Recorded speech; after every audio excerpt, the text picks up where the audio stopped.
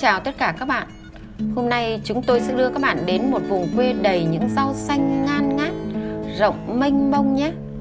Đó chính là vườn rau Tú Sơn Thuộc huyện Kiến Thụy, thành phố Hải Phòng. Từ trung tâm huyện Kiến Thụy Chúng tôi men theo con đường 361 Qua xã Minh Tân, Tân Phong, Tú Sơn. Chúng tôi dừng chân tại cánh đồng màu xã Tú Sơn. Wow, một màu xanh tươi của các ruộng rau cho ta cái cảm giác thật thư thái, an bình và đáng yêu biết mấy. Đây là những nàng bắp cải đua nhau khoe dáng như còn e ấp trong những tàu lá đẻ già. Nàng thì nghiêng sang trái, nàng thì nghiêng sang phải, trông dễ thương làm sao. Còn đây là những bác su hào đang thì xuân sắc, đua nhau khoe những cái bụng to đầy hào hứng và thách thức. Còn đây là chú tỏi khiêm tốn ẩn mình trong đất, rồi cái bụng cứ trỗi dần trỗi dần, cùng cái lưng thẳng đứng. Cũng chẳng chịu thua chị kém em, dì hành cũng cười tươi vươn mình trong gió, khoe cái bắp chân trần trắng nõn, đua tài cùng chú tỏi nhà bên xa xa, em cải cúc mảnh mai, yểu điệu trước đám đông, như kiểu đã yếu thì đừng ra gió. Biết mình, biết tha vậy đó. Có câu, bao giờ rau diếp làm đình, gỗ lim thái ghém thì mình lấy ta. Trời ơi, đến bao giờ rau diếp mới cứng cỏi mà làm được cái cột đình mà nói như đánh đố vậy trời? Vâng đây chính là em rau diếp mềm mại yếu đuối, nhưng cũng không kém phần xinh tươi. Đây rồi đây rồi. Xe anh bon bon trên trắng đường. Đây rồi.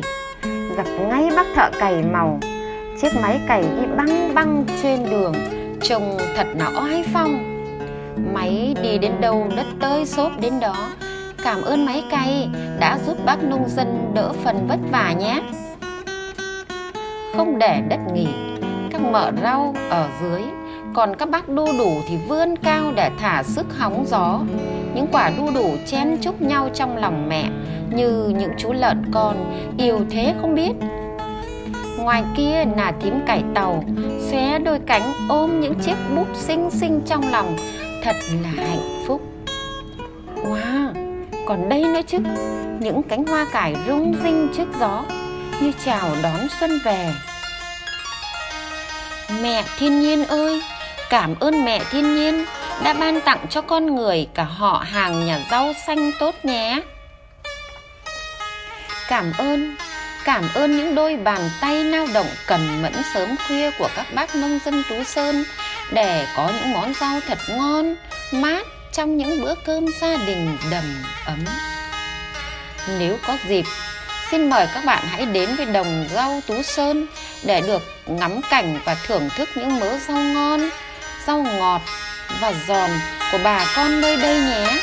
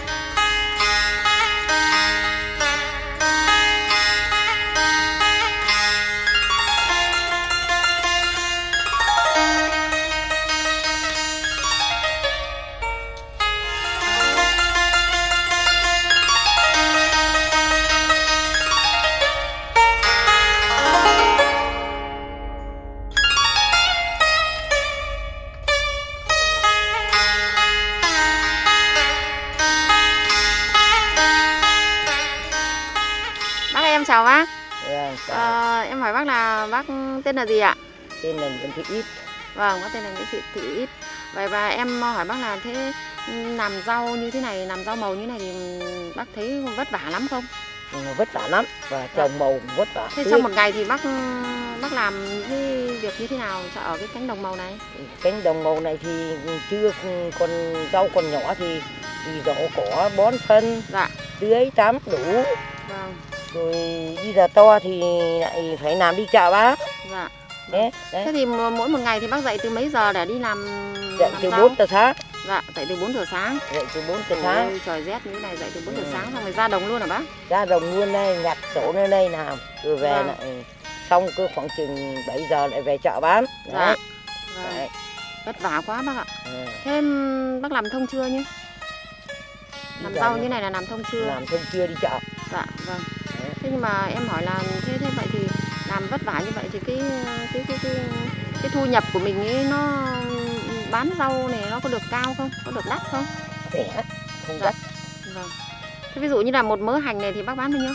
Mưa hành này thì cách đây cứ 3 ngày thì bán được ừ, cứ một cân là được 10 nghìn với 9 nghìn. Dạ. Nhưng mà từ hai ngày trở lại đây là chỉ bán được 8 nghìn với 7 nghìn 15 nghìn. Tám nghìn một kg hành. Đấy mà một kg hành này trồng được lên như thế này rất là vất vả đúng không bác à, đúng rồi Vâng. Thế ví dụ như là su hào ấy thì là là là, là các bác ừm, bán ra thị trường bây giờ thì bán một củ su hào là bao nhiêu? to nhưng như thế lại mới được 5 hào với 4 hào Dạ, đấy. còn bé bé thì 10 nghìn ba củ bé nữa là là 10 4 nghìn, củ 4 nghìn một củ. Ừ. Rẻ quá, vâng, rẻ quá so với lại cái cái công sức và cái cái cái, cái tài chính người nông dân bỏ ra đúng không bác?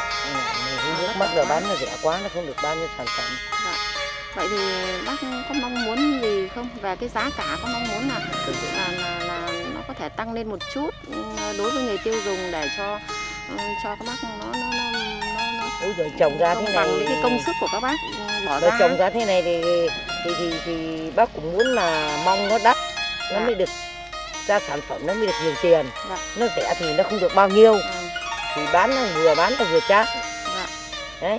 Vâng.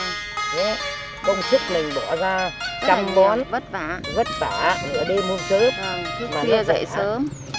Thức thức khuya dậy sớm rồi là suốt ngày ở ở đồng Đồng. đúng không bác? Ờ, suốt ngày ở đồng mà cuối cùng thì là cái cái công của mình nó, Nó- cái nó công không của được mình bao nó nhiêu. một ngày công của mình nó thấp quá. Nó thấp quá. Vâng. Thì rất là mong thì mọi người sẽ đến ờ, ờ, ủng hộ. Ờ, các bác nông dân rất là một nắng hai sương rất là vất vả một nắng hai sương và ngày đêm vất vả trên cánh đồng màu của mình như này để có cái cái làm sao mà để cái nguồn thu nhập nó cao hơn.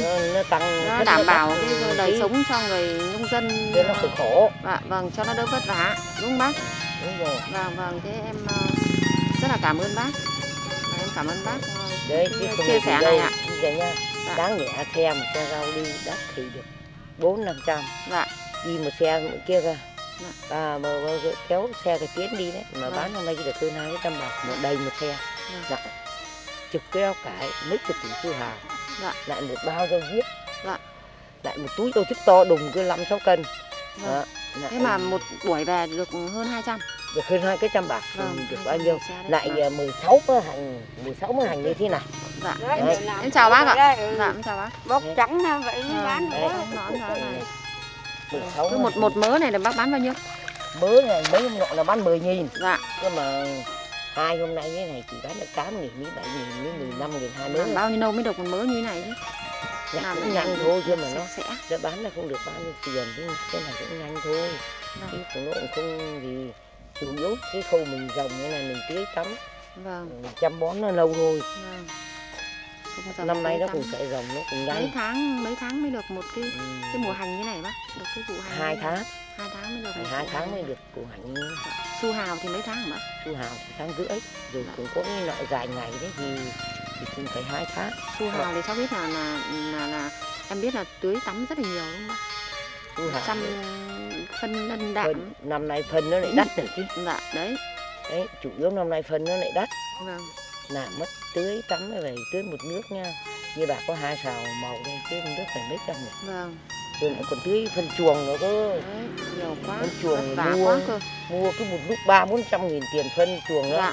nó chở đến đầu bờ nó bán cho mình đấy Vâng. gâm ra rồi tưới và chi tưới độc phân độc phân phân phân đạm mới nân đấy vâng. cái cây nó cũng không ra hồn mà cái chất đất nó sạn rồi hỏng Vâng. ruộng là cứ phải phải mua phân phân trâu trước năm nay là bác bao nhiêu tuổi?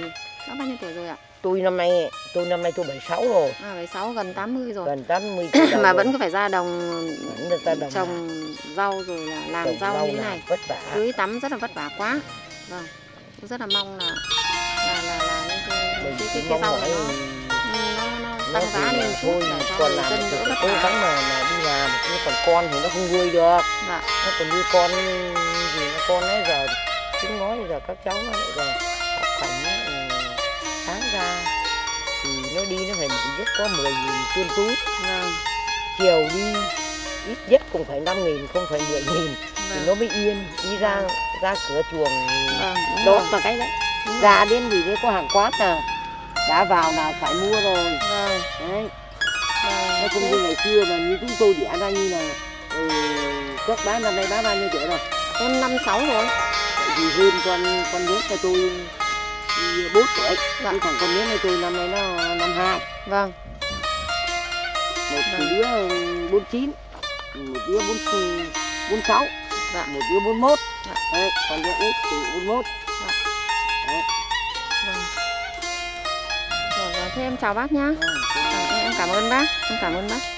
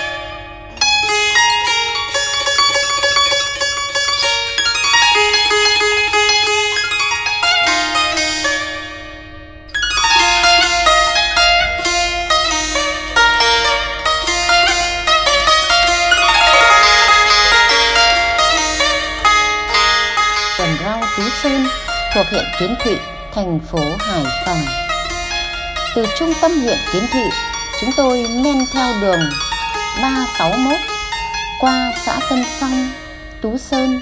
Chúng tôi dừng chân tại cánh đồng màu xã Tú Sơn.